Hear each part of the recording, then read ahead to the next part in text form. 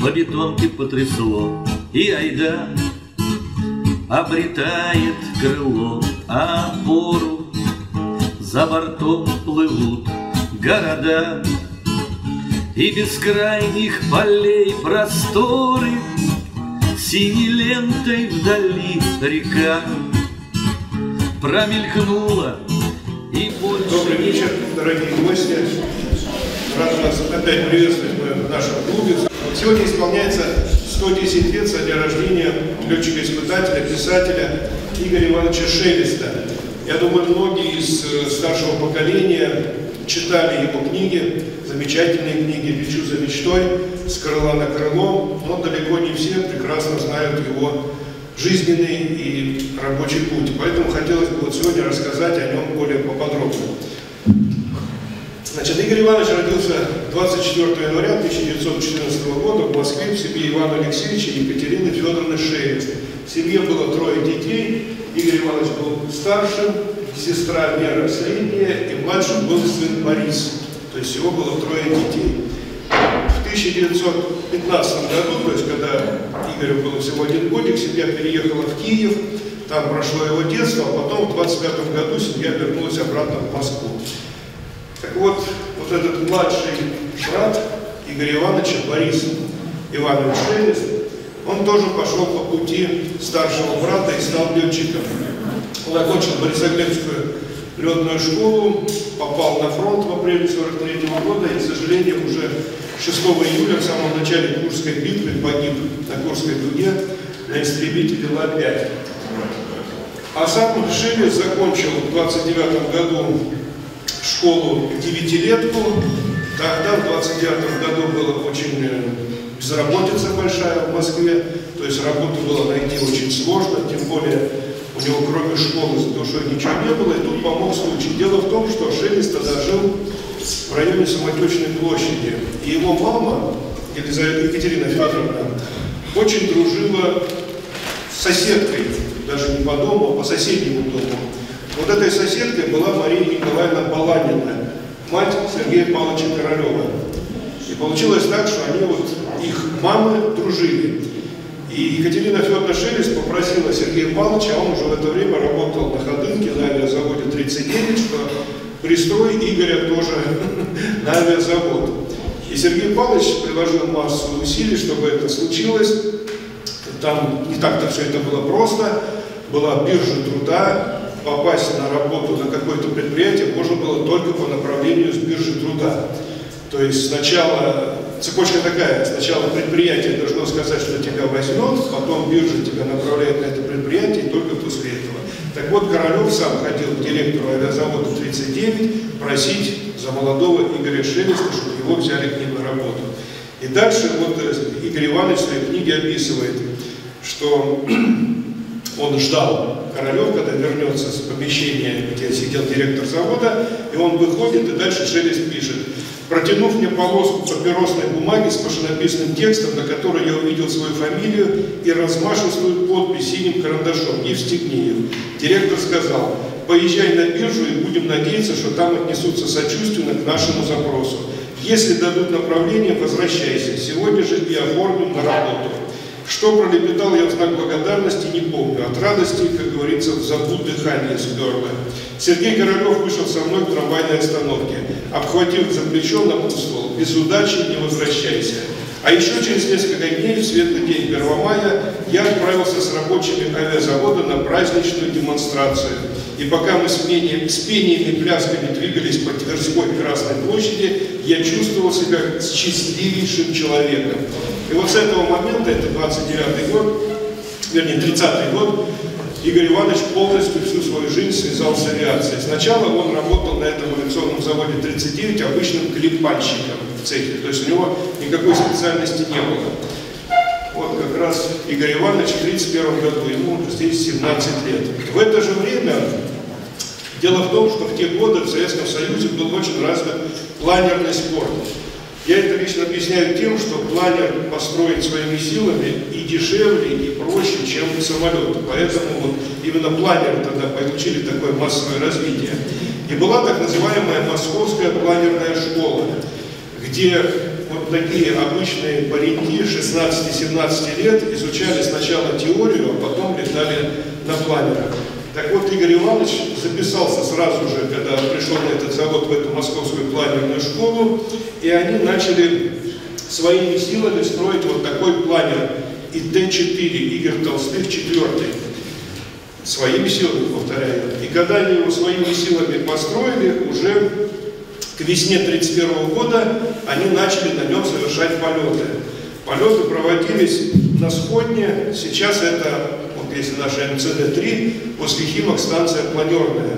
Вот она именно поэтому так и называется, что там располагалась Московская планерная школа, где встали на крыло очень и очень многие наши планеристы, в том числе Игорь Иванович Шелест.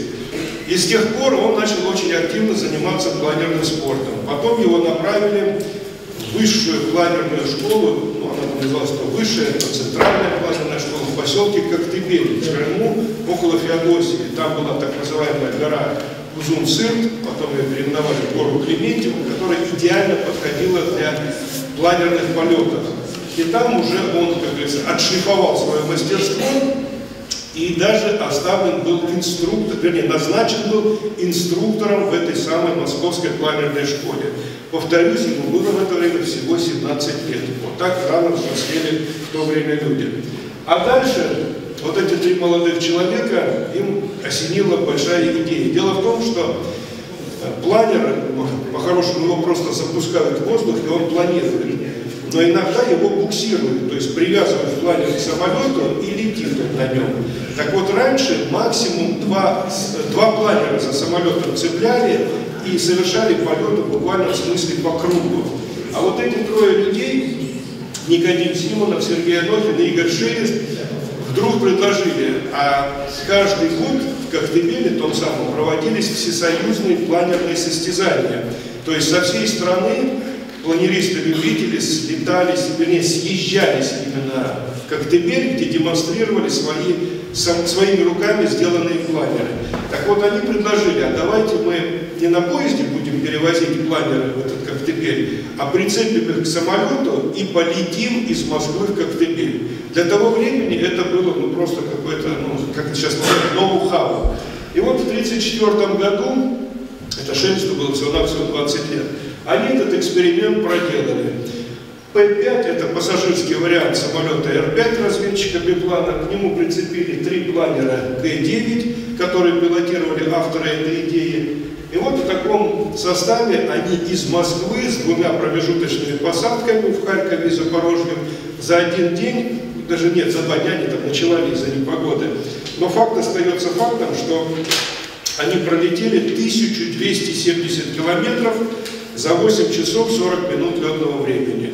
То есть они доказали, что можно не на поезде перевозить все эти планеры на состязания в Коктебель, а вот так вот буксировать за самолетом ну, в нужную точку.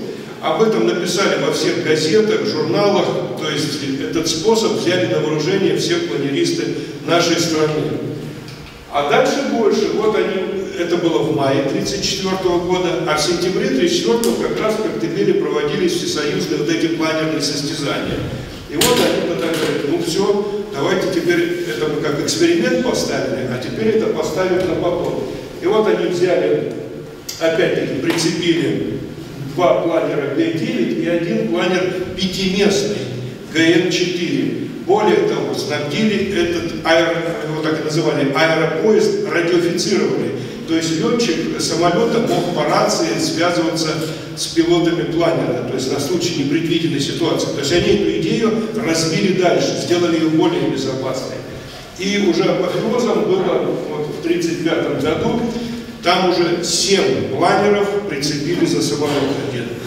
Причем, видите, э, трое планеров были за хвостом прицеплены, и по два планера еще за крылья были прицеплены. То есть это направление получило право на жизнь, и больше, дальше она использовалась. Ну, если вы знаете, в годы войны наши планеристы, в том числе Сергей Николаевич Анохин, который стоял у истоков этого, этой идеи, они летали в тыл к партизанам на планерах. То есть планер буксировали на самолете до расположения партизанского отряда, планер отцеплялся и приземлялся на партизанском аэродроме где-то в лесу.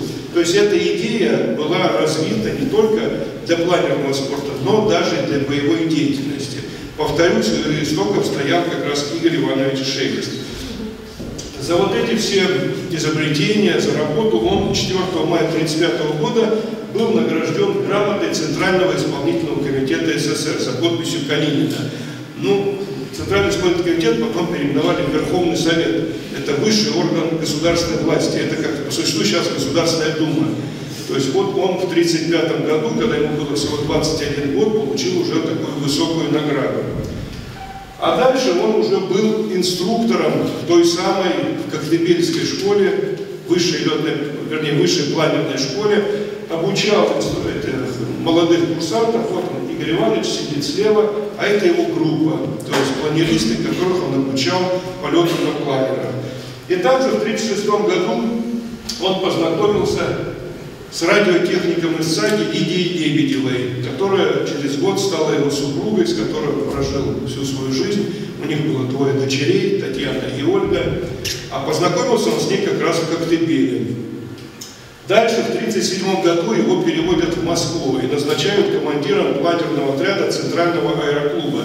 То есть это тот самый, потом он стал имени Чкалова, Центральный аэроклуб в Тушино.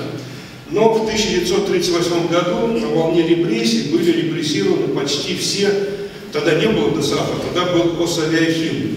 Так вот, в 1938 году как раз почти всех вот это руководство Осавиахима было репрессировано. Закрыли вот эту самую центральную планерную школу в Коктебеле, начали арестовывать уже инструкторов, и Шелеста из аэроклуба уволили в 1938 году. Он у себя в дневнике записал, Уволился из аэроклуба и уже месяц не работаю, совсем нет денег. Уволился из-за того, что предложили ехать в Ульяновск работать командиром отряда. Я отказался на отрез, поэтому пришлось уйти. Сегодня, наконец, закончил книгу. О какой же книге идет речь? Это вот такая вот небольшая гибкая обложки книжечка, называется она «Безмоторный полет». Он ее написал в соавторстве с Никодимом Симоновым. Она была издана тиражом 15, тиражом 15 тысяч экземпляров Центральным советом Асавиахима. То есть здесь это методичка, как летать на планере. По существу учебник. Это был первый в нашей стране учебник, учивший летать на планере. Автору в тот момент было всего-навсего 24 года. К сожалению, судьба его соавтора Никодима Симонова сложилась трагично. Он, как и Игорь Иванович, он стал летчиком-испытателем и в 1942 году погиб э, по нелепой случайности на аэродроме Новосибирского завода. На рулежке столкнулись два самолета и загорелись. Его полетчики, в том числе Никодим Симонов. Почему я сейчас об этом говорю, что у Игоря Ивановича в жизни будет аналогичная потом ситуация. А дальше, в 1939 году, да, а так как он отказался ехать в Ульяновск, он это в дневнике написал, и он был некоторое время безработный, в это время как раз в декабре 1938 года родилась дочь Татьяна, то есть нужно было хоть где-то работать, содержать семью, и он устроился на работу заведующим отделом авиатехники редакции журнала «Самолетов». То есть журналистом сделался. Вот это были первые его опыты, собственно, журналистской деятельности. И вдруг в 1939 году приходит интересное предложение. Дело в том, что на нашем аэродроме в то время базировался 8 отдел ЦАГИ, который занимался летными испытаниями, и им понадобился опытный планерист для проведения испытаний именно на планерах.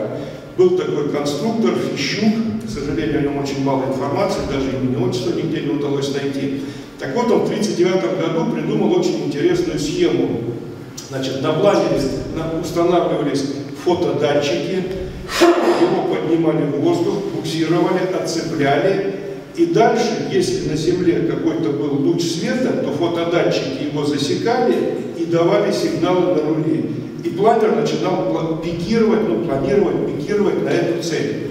То есть это было сделано, что если в боевых условиях летит бомбардировщик, нанести удар в тылу противника, Э, противник включает прожектора, чтобы перехватить бомбардировщик, а у планера за собой буксируется несколько, у самолета бомбардировщика буксируется несколько таких планировок. Он их отцепляет, и они поражают вот эти самые прожектора. Вот такая идея, собственно, была. И нужно было вот эту автоматику, это по существу как самонаводящаяся ракета.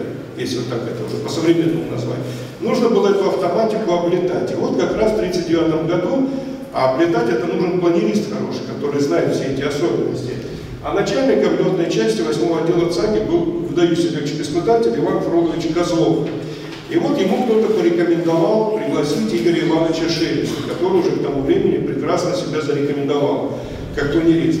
И дальше Шелест пишет, Какие муки терзали меня, пока шли переговоры. Долго длилось оформление. Принимали на работу меня начальник лаборатории Николай Сергеевич Строев, который потом стал, собственно, начальником ЛИИ, и начальник летной части Иван Фролович Козлов. Козлов прямо заявил, мы берем тебя только на испытание этого планера. У нас не школа, на самолетах здесь летать не будешь. Так и знай, обещаний тебе никаких не даю. И потом направил меня работать в лабораторию к Егорову, известному аэродинамику, человеку аскетического вида с выражением недовольства на лице. Но на самом деле он был справедливым и добрым. В лаборатории я встретил Витю Васянина, бывшего начальника летной части в Коктебеле в период моего обучения. По поводу слов Козлова Васянин сказал, ты не унывай, Фролов всегда так говорит, он как бы испытывает тебя. Будет очень хотеть, добьется. Для того, кто любит летать, преград нет. Так она и получилась. Шелест прекрасно. Да, 16 декабря 1939 года его приняли на работу 8 отдел ЦАГИ, и с того времени он жил в нашем городе. Вся его дальнейшая жизнь была связана с Жуковским. Он прекрасно себя зарекомендовал на этих испытаниях. К сожалению, эта система не получила дальнейшего развития, но молодого летчика заметили и взяли в штат летчиков-испытателей ЦАГИ. А дальше он испытывал вот такую очень интересную конструкцию. Это первый в нашей стране самолет на воздушной подушке. Это совершенно нестандартная схема. Значит, был такой конструктор Александр Давыдович Надирадзе. Он потом уже после войны конструировал баллистические ракеты и стал даже дважды героем социалистического труда. А тогда он придумал, что можно поставить на самолет надувную резиновую подушку снизу фюзеляжа, там же под фюзеляжем поставить мотоциклетный двигатель, который будет нагнетать воздух в эту подушку, и поэкспериментировать. То есть, по идее, такой самолет может взлетать абсолютно с любой поверхности. Ему ни, никаких нету преград. И вот, вот видите, как бы фаст-профиль, как бы фотография этого самолета. Это вот тот самый моторчик, который у него внизу был установлен, он имел мощность всего 30 лошадиных сил, но давал 3800 оборотов в минуту. То есть нагонял воздух вот в эту подушку. И дальше вот это вентилятор, это снизу снято, который в эту подушку подает воздух. И вот зимой с 40 на 41 год Шелест на нем сначала просто рулил по аэродрому, потом начал делать подлеты, но именно подлеты только по прямой, потому что двигатель М-11, основной двигатель самолета, у него мощность всего 100 лошадиных сил. А, соответственно, имея такую надувную резиновую подушку, сопротивление воздуха очень большое, и все опасались, что он на развороте двигатель просто может не вытянуть и свалится самолет. Поэтому подлеты только проводились по прямой. Показали, причем этот самолет испытывал, вернее, подлет, облетывал его Юмашев, Громов, другие летчики-испытатели, все дали высокую оценку, и дальше уже была идея, ну, понятно, что с такой надувной резиновой подушкой летать нельзя, и была идея такая, что он взлетает, подушка сдувается, прижимается к фюзеляжу самолета, а потом будет снова перед посадкой надуваться. Но так как это была весна 41 года, там уже война началась, естественно, эту схему никто уже доводить не стал. Но, повторюсь, это был первый в нашей стране летательный аппарат на воздушной подушке, конкретно самолет. Испытывал его, повторюсь, Игорь Иванович Шелест. Дальше, 8 марта 1941 года, на базе 8 отдела ЦАГИ создан летно-исследовательский институт, который возглавил Михаил Михайлович Громов. Он далеко не всех летчиков-испытателей из 8 отдела ЦАГИ пригласил к себе в институт.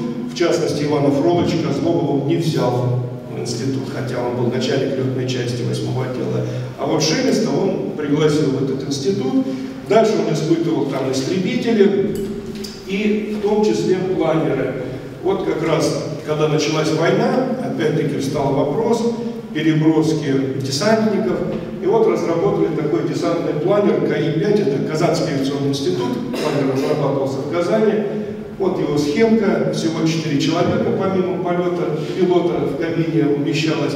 И вот осенью 41 года Игорь Иванович Шелест испытывал вот этот планер в Киржаче. Там был опытный полигон воздушно-десантных войск. И одновременно испытывал еще такой вот планер. Здесь уже побольше, здесь 10 человек вмещалось, назывался планер «Орел». Но, к сожалению, там у них была куча недостатков, планеры эти так и в эксплуатацию приняты не были. А ему поручили испытание следующего очень интересного самолета, это ДБ-3 УПС. Значит, э, здесь впервые в нашей стране его оборудовали системой управления пограничным слоем на крыле. И еще интересный момент, вот это, этот самолет был первой летающей лабораторией, созданной в ЛИИ. С того времени там очень много летающих лабораторий, созданных для двигателей, испытаний, для много чего. Но это была самая первая летающая лаборатория ЛИИ. Испытывал ее, опять-таки, Шелест, и очень интересный момент. Значит, э, да, еще чтобы было понятно, там с крыла буквально в смысле отсасывали воздух, чтобы сделать пограничный слой управляемый. И что это дало? Значит, э, скорость планирования минимальную снизили на 16 км в час. И еще управляемость, э, минимальная эволютивная скорость была 147 км в час, а с помощью этой системы 133. Ну, то есть это довольно-таки маленькие показатели, но, повторюсь, это впервые в нашей стране было. То есть если бы эту начали дальше проблему тогда изучать, то, может быть, ее тогда даже уже и внедрили. Так вот, первый вылет он совершал на нем осенью 41 -го года, а именно 16 октября. Ну, чтобы было понятно, 16 октября 41 это то самое время, когда была массовая эвакуация из Москвы под угрозой ее захвата немцами. Так вот, Шелли в своей книге пишет, 16 октября 1941 года, когда немцы вплотную подошли к Москве, я выполнил первый полет на экспериментальном двухмоторном самолете ДБ-3 УПС. Одновременно это был и перелет в город Арзамас на высоте 50 метров с сотрудницами нашего института. На четырехместном, неиспытанном и непринятом АТК самолете было 11 женщин и грудной ребенок. В полете сорвало фонарь с кабины, улетела навигационная карта. Без штурмана и без карты благополучно закончился этот тяжелый перелет. Тогда нас на четырехместном самолете было 13, чертова дюжина. С тех пор я полюбил число 13. А месяца через два мы смогли вернуться к испытаниям этого ДБ-3 УПС, и началась исследовательская работа по управлению пограничным слоем воздуха на крыле. Очень далеко вперед заглянули тогда ученые ЦАКи. Только спустя 20 лет уровень техники позволил осуществить начатые планы. Вот такой вот необычный первый полет опытного самолета вместе с эвакуацией женщины ребенка Жуковского в Арзамас. А дальше, вот в 1942 году в Новосибирске испытывал опять-таки десантный планер БДП-5, второй экземпляр, это конструкции Поликарпова. И провел он еще очень большую работу по внедрению в серию бомбардировщика Ту-2 конструкции Туполева. Их серийно строили на авиазаводе 166 в Омске. Там своих летчиков не хватало заводских, вернее даже не было такой квалификации летчиков, которые могли бы испытывать эту технику. И туда командировали Игоря Ивановича Шелеста. Он испытывал самые первые серийные образцы бомбардировщика Ту-2. И вот в полете 25 марта 1943 года экипаж состоял из летчика Шелеста, инженера Георгия Ивановича Пояркова и бортмеханика Александрова. И у них отказалась система выпуска шасси. Значит, правая стойка вышла, левая полностью не вышла. Шелест попытался пилотажем, ну, как вот Чкалов там в знаменитом фильме, 30 минут, значит, и насосом, и перегрузками пытались ее эту стойку выпустить. И кончилось тем, что самопроизвольно закрылась створка маслорадиатора правого мотора а створка тоже приводилась в действие гидравликой. И начался перегрев масла. То есть нужно было вообще экстренно сажать. В итоге посадку они все-таки выполнили, немножко самолет, как вы видите, подломался, но тем не менее очень быстро был восстановлен. И Архангельский, это заместитель Туполева, даже написал благодарственное письмо Шелесту, что так мастерски была выполнена посадка с минимальными повреждениями. Дальше Ли вернулась, это как раз в это время Ли находился в эвакуации, в 1943 году Ли вернулся из эвакуации, и здесь уже Шелест проводил испытания на нашем аэродроме. В частности, вот это был такой высотный истребитель-перехватчик конструкции Микояна И-222. Планировалось на нем достичь высоты порядка 13 тысяч метров. Двигатель снабжен был турбонаддувом, соответственно, чтобы он мог до такой высоты позволять самолету подняться. Самолет сначала испытывал Алексей Петрович Якимов. Но 9 августа 1944 года Якимов был вынужден покинуть горящий самолет И-225 с парашютом, другой самолет, получил ожоги и его поместили в госпиталь. Самолет испытывать было некому. И поручили тогда Игорю Ивановичу. 1 сентября 1944 года он впервые на нем вылетел. На второй день, 2 сентября 1944 он вылетел на нем уже на высоту 7000 метров, с исключением турбонаддува, и в последующие дни должен был продолжить испытания. Однако этим планом сбыться было не суждено. Тогда же, 2 сентября 1944 года, Шелест выполнял испытательный полет на истребителе Як-9У конструкции Полика... Яковлева Происходило это вечером, уже в районе 6 часов. Нужно было выполнить три скоростные площадки на высотах 2000, 1200 и 800 метров. Взлет был в сторону Москвы, в сторону Москвы-реки, значит, самолет взлетел, развернулся и начал набирать высоту в сторону нового села. Набрав порядка полутора тысяч метров, двигатель вдруг начал чихать, в кабине появился белый дым, Шелест понял, что двигатель начинает загораться и начал садиться с обратным курсом со стороны нового села на полосу, ну, как если аэродром знает, на ВПП номер один. А в это время на эту ВПП-1 выруливал самолет Як-6. Это деревянный самолетик, предназначенный для перевозки людей. Там в нем находился в этот момент летчик и пять пассажиров. Так вот, этот Як-6, летчик этого Як-6 по фамилии Кузнецов, он, к сожалению, не обратил внимания на... Там тогда рации не было еще на этом самолете. И все команды подавал аэродромные рабочие флажками. И женщина там была, она махала ему красным флажком, что нельзя занимать полосу, потому что шелест, а у него двигатель в итоге остановился. И он уже планировал на эту полосу. И еще момент. Он планировал на первую полосу, это было 18.50. Солнце в это время заходило как раз на востоке, точнее на западе, и ровно ему в глаза слепило это солнце. То есть он этот самолет не видел.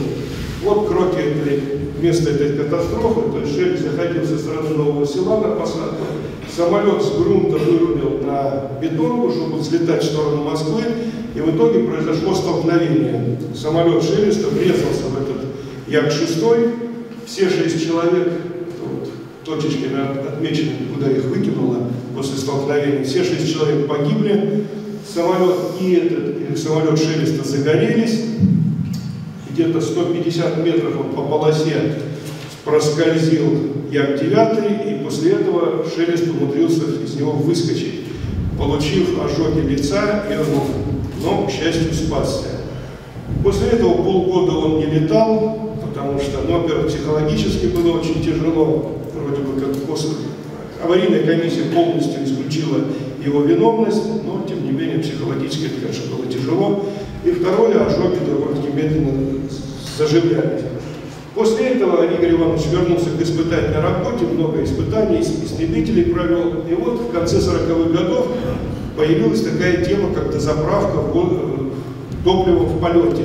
Дело в том, что для достижения потенциального тот момент противника Соединенных Штатов Америки, чтобы сбросить атомную бомбу с бомбардировщика, дальности не хватало. Нужно было дозаправлять бомбардировщик в воздухе.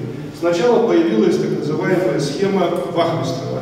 Значит, у двух самолетов, видите, из хвоста выпускался сначала на одном самолете просто трос с кошкой на конце, вот как у моряков кошка. На втором выпускается такой же трос, тоже с кошкой. Самолет начинает маневрировать, зацепляются кошками, потом он подтягивает этот трос, на нем идет шланг, В общем, целая многоступенчатая бодяга. Эту схему начали испытывать, но было понятно, что она очень сложна. И тогда Игорь Иванович со своим другом Виктором Сергеевичем Васяниным, они были знакомы еще с Коктебеля с 30-х годов, а Васянин тоже работал летчиком-испытателем в ЛИИ, они предложили другую схему заправки, причем, что очень интересно, ни Васянин, ни Шелест не имели инженерного образования.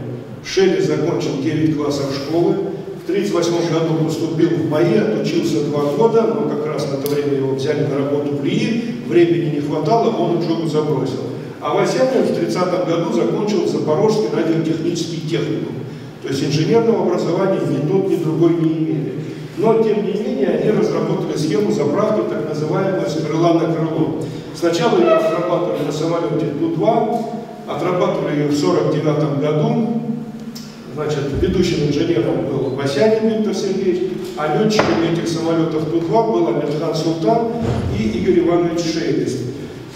По сущности заправки я скажу чуть позже, но в итоге 15 июня 1949 года они выполнили первую в нашей стране автоматическую дозаправку в воздухе методом с крыла на крыло. Быстрее всего, даже это первая в мире была дозаправка методом с крыла на крыло. Это журнал полетов с аэродрома Ли. Вот 15 июня здесь есть запись. Ту-2 Амирхан Султан и Ту-2 Шелли. А это вот их куда вписаны вот эти две даты. Я почему на этом акцентирую? Потому что во многих источниках пишут, что это было 16 или даже 17 июня. На самом деле по документам очень все прекрасно прослеживается. Это было 15 июня 49 года. Вот как раз э, уже они настолько ее отработали, что начали даже истребитель экспериментировать, заправлять. То есть Ту-2 заправляет Як-15. Як-15 пилотирует Александр Султан, Ту-2 пилотирует Игорь Иванович Шелест. И вот в августе 40... Да, и еще интересный момент, когда они впервые вот эту дозаправку 15 июня 49 года провели, Игорь Иванович вечером записал в своем дневнике. Собрались на аэродроме рано. В этот день мы с Амирхан Султаном осуществили в полете автоматическую заправку самолета Ту-2 от Ту-2. Я на заправляемом, а Амед на заправщике. Летали после сцепки, не разъединяясь, добрых 50 минут. Бензина, правда, перекачали немного, да это поначалу было и не важно. Теперь убедились в правоте самой идеи. Приземлились, вылезли и ну плясать у самолетов. Вот такие эмоции переполняли. А дальше уже получили Васянин и Шелест, видите, авторское свидетельство, патент на это изобретение, крыльевую заправку самолета в воздухе. Но это они на Ту-2. Ту-2 уже уходил в это время с арены. Для транспортировки атомной бомбы применялся самолет Ту-4. И вот в 50-м году они продолжили уже эти испытания на самолетах Ту-4. Единственное, здесь вместо Амирхан Султана начал летать Алексей Петрович Якимов. Вот Ту-4 как раз дозаправляется в воздухе методом крылевой заправки. Это впервые произошло 12 мая 50 -го года. Еще интересный момент. С середины 49 -го года на Ту-4 летал в качестве техника Юрий Александрович Горнаев. Он только-только освободился из лагеря, его нигде не хотели брать на работу, и он с большим трудом устроился в РИИ именно техником. Но ему хотелось летать, он летчик. И вот именно Шелест и Якимов его впервые начали брать с собой в полеты. Шелест позже вспоминал, для начала Гордаеву поручили прокладку труб по крыльям наших Ту-4. Это дело он выполнял с Юрой Девятковским. Нам приходилось много изобретать, и Горнаев предложил один из вариантов механизма подачи шланга. Пришло время, и мы отправились в полет. Горнаев был с нами в составе экипажа, оператором сцепки. С ним произошла полная метаморфоза. Парень просто сиял от счастья. Всегда энергичный, Юра теперь двигался так, будто земное притяжение уменьшилось в два раза. То есть вот они его вернули, собственно, в небо. Игорь Иванович Шелест и Алексей Петрович Якимов. Это вот фотография супруга Горнаева музицирует, Якимов супруга сидят. Надо сказать, что и семья Шелест очень любили музицировать, они часто собирались вместе с Горнаевым в оперу ездили, на спектакли, в театр. То есть музыкальные семьи были. А это вот, собственно, как осуществлялась дозаправка самолета в воздухе, я просто не стал это рассказывать, потому что на пальцах это очень сложно объяснить.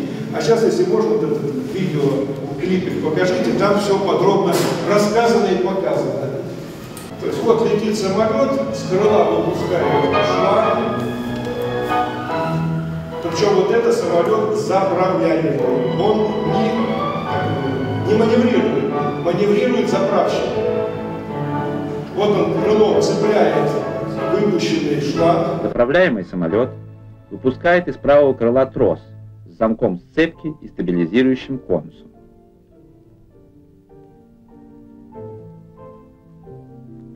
Самолет-заправщик становится в правой пелен с нулевым интервалом нагоняет ведущий самолет, накладывает левое крыло на трос и осуществляет сцепку троса со шлангом.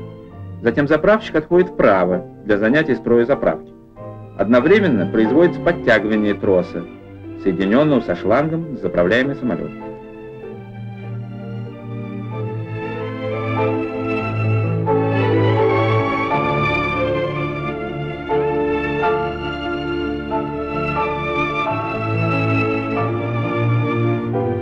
Соединения самолетов шлангом производится продувка и заполнение системы нейтральным газом, азотом, а затем включаются насосы перекачки топлива. Управление всеми операциями заправки осуществляется дистанционно, одним оператором на каждом самолете. Значительная часть операций автоматизирована. Во время заправки строй самолетов выдерживается по интервалу до 10 метров и по дистанции 20-25 метров.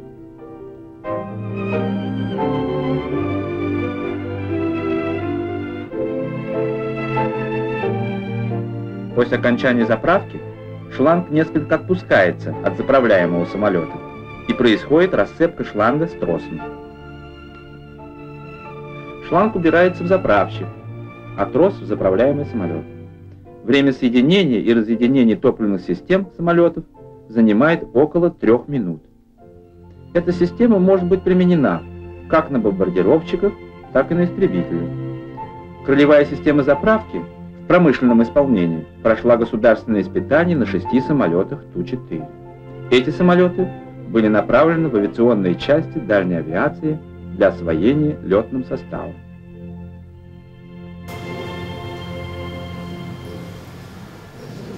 Как тут уже было сказано, начали летчики дальней авиации осваивать эту систему. Первые ее начали осваивать летчики 198-го гвардейского тяжелого бомбардировочного полка в аэропорту Борисполь, это под Киевом. И туда, чтобы им помочь, направили Виктора Сергеевича Васянина. Он сначала помогал, потом в январе 1954 года туда же приехал Игорь Иванович Шелест ему на подмогу. Да, вот видите, в 1952 году эта система была официально принята на вооружение. Еще интересный момент. Васянин и Шелест были назначены на должность главных конструкторов этой системы. Это довольно-таки большая должность в то время. И вот в 52-м приняли официально на вооружение, начали осуществлять, вернее, осваивать. В январе 54 -го года Шелест приехал в Киев, Борисполь, помогал им это осваивать и записал. Наша система заправки работает хорошо. Военные летчики освоили это дело и выполняют работу уверенно. Туполев решил поставить нулевую систему заправки на Ту-16. Как раз в это время на испытание вышел реактивный уже бомбардировщик Ту-16, и было Туполеву принято решение эту же систему дозаправки использовать на этом новом самолете. А уже в августе 1954 года Шелест пишет, успешно закончили все испытания. Труд пяти с половиной лет закончился. Систему удалось довести, и она теперь действительно хорошо работает. То есть полностью было все внедрено, но именно в 1954 году летом Шелеста списывают 40 лет, слетная работа, у него на один глаз зрение упало. И он, вот это уже на Ту-16, это же крылевая заправка потом используется. Причем она использовалась до 90-х годов, пока Ту-16 состояли на вооружении, их заправляли вот именно методом крылевой дозаправки. То есть это изобретение пошло действительно в серию и очень долго использовалось. А Шелест подводил итоги. Всего он на тот момент летал 23 года, общий налет почти 2900 часов, 51 тип самолета освоены, 52 типа планеров. То есть вот такие довольно-таки хорошие итоги летной деятельности. После этого встал выбор, чем заниматься дальше. И тут очень интересный момент. В 1953 году в Министерстве авиационной промышленности Шелли случайно встретил Королева, с которым он знаком был еще с детских лет. И вот Королев ему своей рукой на записной книжке написал свой рабочий телефон и то есть обращайся, если что. И в 1954 году перед Шелестом стал выбор, либо пойти работать Королеву, либо остаться на нашем аэродроме. Вот как раз Сергей Николаевич Анохин выбрал второй, вернее, первый вариант. Он ушел после окончания летной работы, он ушел к Королеву. А вот Игорь Иванович Шелест выбрал второй вариант. Он остался на нашем аэродроме, он был ученым секретарем методсовета. Причем методсовета даже не Лиюрского, а именно Министерства методсовета, который заседал на территории Ильи. И вот он до 1985 -го года работал ученым секретарем методсовета, Министерского методсовета.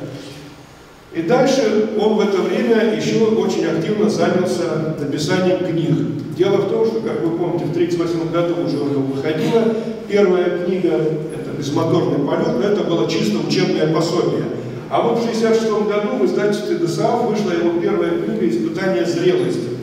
В ней он в очень увлекательной форме рассказывал о том, как они в 30-е годы летали на планерах, вот эти аэропоезда изобретали, и чуть-чуть коснулся своей летно-испытательной деятельности. Книга очень понравилась читателям, пришло очень много откликов, и он решил расширить ее временные рамки. И дальше уже вышла книга в 69 году «С крыла на крыло», где он, в частности, очень подробно описал вот эти самые испытания крыльевой системы на заправке. И в 1973 году эту же книгу перевели на литовский язык и выпустили в Вильнюсе. Дальше, в 1973 году выходит книга «Лечу за мечтой», которая тоже описывает как раз испытательные будни. И выходит второе издание книги «С крыла на крыло». А дальше он в 80-х году выпустил книгу «Крылатые люди». В ней он описал будни авиации дальнего действия. Дело в том, что в годы войны на нашем аэродроме базировалась дивизия самолетов П-8 авиации дальнего действия, и многие летчики, штурманы, техники, кто летал в этой дивизии, после увольнения в запас остались жить в нашем городе и работали на нашем аэродроме. Так вот, Игорь Иванович внимательнейшим образом записал их воспоминания и свел в книге «Крылатые люди». То есть эта книга посвящена летчикам авиации дальнего действия в годы войны, именно тем, кто летал с нашего аэродрома. Это были Пономаренко Владимир Васильевич, который жил и работал в нашем городе Сугак, Сергей Савельевич Молчанов, Георгий Павлович и многие другие. А вот потом у него был интересный опыт, это книга «Повесть. Опытный аэродром». Это художественная вещь.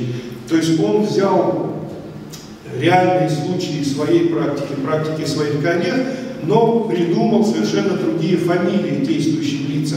И получил, ну, может быть, что-то вообще придумал, и получилась чисто художественная книга.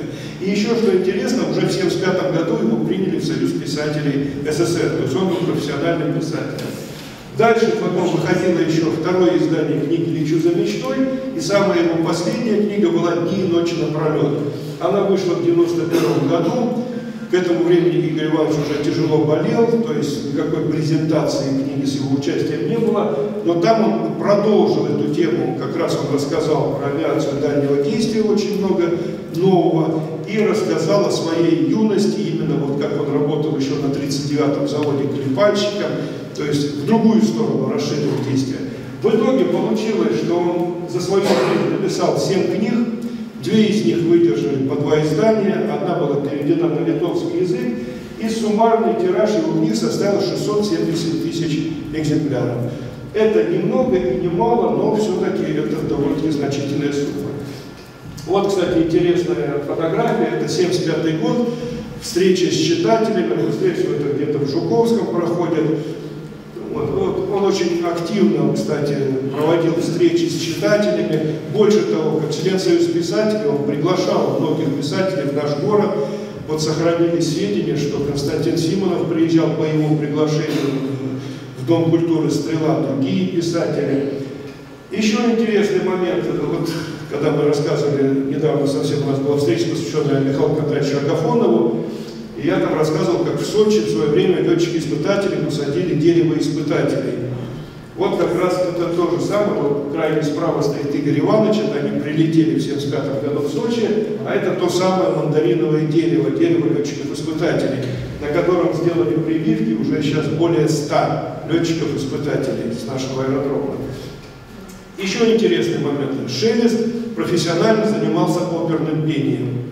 Дело в том, что с 66 по 73 год он регулярно выходил на сцену Центрального дома культуры железнодорожников, это на Комсомольской площади, около Казанского вокзала. Между Казанским вокзалом и универмагом Москва есть дом культуры железнодорожников. Так вот там был, как сказать, самодеятельная студия оперного пения. Так вот он выступал в роли Германа в опере «Пиковая дама». Вот видите, они шили своими силами костюмы, вот Игорь Иванович как раз, в гриме, в одежде. Еще помимо этого он участвовал в спектаклях «Паяцы», «Отелло» и «Декабристы». То есть 7 лет он пел, Шелест Игорь Иванович, в опере, роль Германа в опере «Пиковая дама». Как другой писатель и летчик Николай сказал, талантливый человек, талантлив во всем. Вот это, наверное, тот самый случай, когда человек и летчик, и писатель, и еще и оперный певец. Еще одно интересное направление. Дело в том, что в 80-е, в конце 70-х, начале 80-х годов по стране очень массово начало развиваться самодеятельное самолетостроение. Игорь Иванович не мог остаться в стороне, потому что, повторюсь, он в 30-е годы очень активно участвовал в этих всесоюзных планерных слетах, как Коктебеле. Ему это все напоминало его молодость. Вот это вот в ХАИ, в Харьковском институте, видите, они построили какую-то конструкцию, он приехал, оценивает. Это уже дельтапланеристы, тогда только-только они появились. Это в Коктебеле он с кем-то из дельтапланеристов общается. А это уже так называемые слеты любителей авиации. Дело в том, что в 1983 году впервые в Коктебеле провели слет любителей авиации. Это уже второй слет. Он, тот проводился в Коктебеле, а 84 проводился на аэродроме Карагос в Крыму. И вот как раз Игорь Иванович, это такая была очень интересная конструкция, самолет-амфибия ХАИ-30. И вот он как раз конструктор в этой амфибии, ему какие-то замечания делает. И вот тут я сейчас хотел бы дать слово заслуженному летчику-испытателю России Виталию Петровичу Селиванову, который участвовал во всех этих слетах и был хорошо знаком с Игорем Ивановичем Шелестом чтобы он рассказал, как это было, кому это в голову пришло, проводить такие слеты, было ли это полезно все-таки.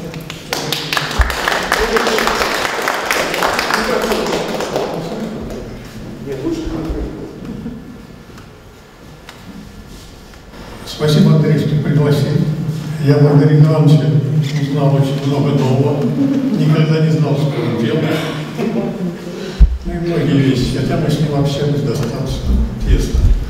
Он был секретарем совета, ученый в Ливии. А меня из армии выгнали по здоровью. Я стал начальником, ну, сам начальника управления летной службы, начальник летно-методического отдела, поэтому с ним пришлось работать вместе. И в 1983 году праздновалось 60-летие планеризма. Ну, активные ребята Министерстве авиационной промышленности решили запустить на это мероприятие самодельщиков. То есть впервые самодельный летательный аппарат. И они просили, чтобы им разрешили полетать. Я, конечно, этого разрешить не мог. Кто за это будет отвечать? Летать на самолете, который не проходил никаких испытаний. Они сильно разобиделись на нас, но это здорово сработало потом. В следующий слет в Карагозе уже самоделки летали. А тогда они, э, мы им предложили, на аэродроме была программа э, демонстрационных полетов, посвященная вот этому 60-летию планеризма. Он праздновался достаточно широко, были туда еще живых очень много людей, включая Антонова. Там были и многие наши летчики, были известные герои и заслуженные. Вот. А им предложили место с этой стороны забора, на планерной базе в ЦАДе, на горе Крементьев. Но в знак протеста они взяли и разместили свою экспозицию за забором. И потом помогавший нам очень здорово Нона Орешина, нештатный корреспондент газеты «Правда», Но вместе с ним мы сочинили газету, статью «Зазаборная или подзаборная авиация», где правда нас разнесла по почкам, что вот люди делают самолеты, а вы, бюрократы, не пускаете их летать. А потом мы еще, э, нам помогла, во-первых, эта статья, знаете, все люди настроены, чтобы все это летало. Запустили ударную силу стариков из Хапов, Игорь Иванович и, и Вининский. Ну, вот они ходили к министру, Силаев тогда был министром, прекрасный, кстати, министр был, правда, совсем недостаточно, но министр он был настоящий. Он прошел с завода в Нижнем Новгороде до министерства, не пропуская ни одной ступени. Очень хорошо знал дело, и он к ним относился очень уважительно. Если мы с Петровым, с начальником управления летной службы, пошли к нему и стали разговаривать о том, что вот надо этих самодельщиков запускать, потом надо было и детей лет с 14 начинать учить летать, министр нас из кабинета просто выгнал. Вы, говорит, хотите детей поубивать здесь? Вот. А когда пошли Хапов, Веницкий и Шелест, он их принял, и они потихонечку его ломали. Потом вот эта статья была в «Правде», и принято было решение в министерстве, что разрешить летать на этих самоделках, но только летчикам-испытателям. И вот на эти все слеты первые ездил Леонохин, кстати, он облетал после того, как закончилось празднование этого 60-летия планеризма. Анохин облетал все эти самоделки втихаря, в общем-то, и не допущено по медицине, но хорошо полетал. И вот с Игорем много общались, на перелетах с ним общались, и потом уже подружились, что я у него и дома была. Вот. Он отличался тем, что он был очень скромный человек. Вот, чтобы из него что-то вытащить, чтобы он рассказал, надо было как-то его задеть, чтобы он рассказывал. Я тогда был тоже молодой. Вот, мне было очень интересно. Он был очень интересный человек. Но больше всего рассказывал Виницкий о том, как вот он летал, Потом я о Веницком узнал, что это действительно был очень талантливый, хороший летчик. Но заслуженного он так и не получил, Игорь Иванович, потому что его, он стоял в очереди на заслуженном, но там его один товарищ подвинул, за что Веницкий его крыл нехорошими словами, этого летчика известного очень. А Шелест не смог получить, потому что было требование, что присваивается звание заслуженное только летающим летчикам. А его как раз списали. И поэтому мы с ним много общались, особенно на перелетах, там он нам очень много помогал. Но иногда, когда требовалось решить какой-то вопрос такой, который с администрацией упирался, то вот эти три богатыря ходили все и очень здорово вместе с Орешиной. Так что у меня о нем остались самые лучшие впечатления. Я счастливый человек, потому что начал я летать в аэроклубе, меня туда брат привел. Вот. Потом по книжке Маркуши я прочитал, что такое авиация уже, более глубоко. Потом я познакомился с Маркушей дружим. Потом случайно мы познакомились еще и с Илаем Марковым Розовичем, который написал тоже прекрасные книжки. То есть вот те три человека для меня, таких самых важных писателей, я с ними лично и общался. И я просто счастлив от этого. Это были замечательные люди. К сожалению, таких людей сейчас все меньше и меньше остается. Они или прошли войну, или война уже только прошла, они на них учились. Это были люди чести и профессионалы высочайшего уровня. Ну, в общем, что могу сказать.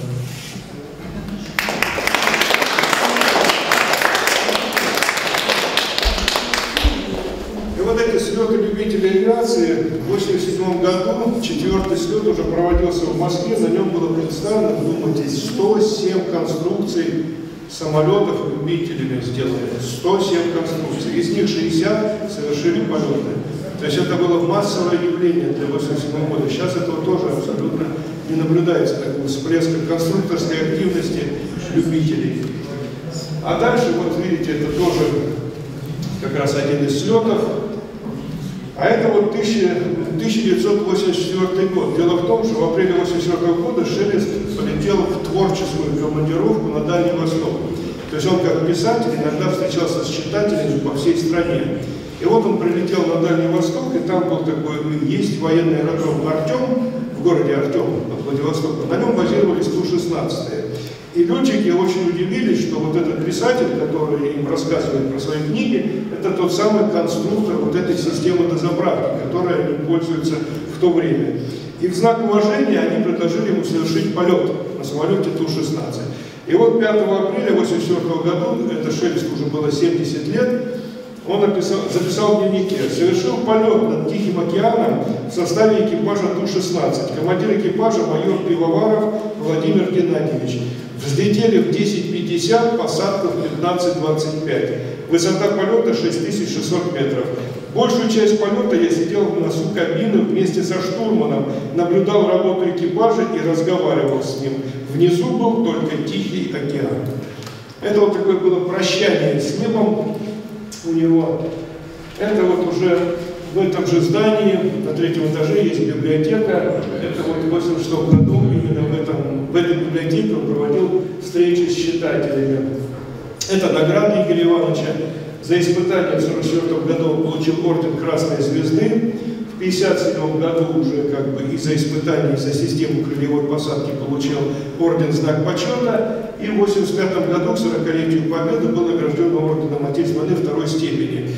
Я просто забыл сказать, что в годы войны у нас на аэродроме в июле-августе 1941 года действовала ночная эскадрилья системы ПВО Москвы, в которую входили летчики-испытатели. Вот Галаев, в частности, он сбил бомбардировщик противника при налете на Москву.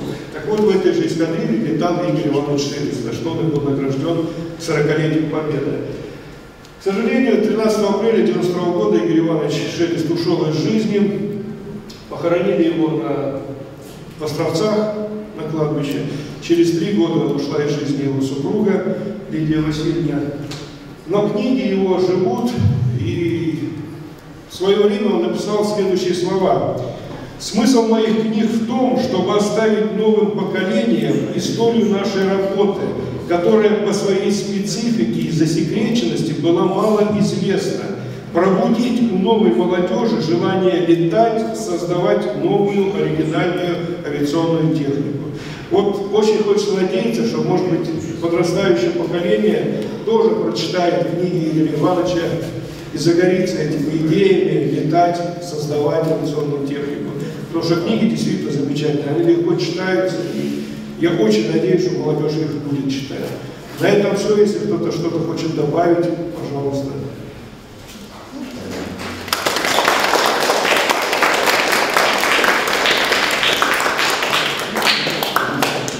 Следующий раз планируем в феврале, там э, дело в том, что будет 70 лет нашему летчику-писателю Олегу Адольфовичу Щепеткову, а уже многие просили с ним устроить встречу, он как бы дал согласие, поэтому ближе к 20 числам, я надеюсь, мы с ним увидимся, он расскажет сам о своей летной работе. Планетонки потрясло, и айда обретает крыло опору, за бортом плывут города. И бескрайних полей просторы Синей лентой вдали река Промелькнула и больше нету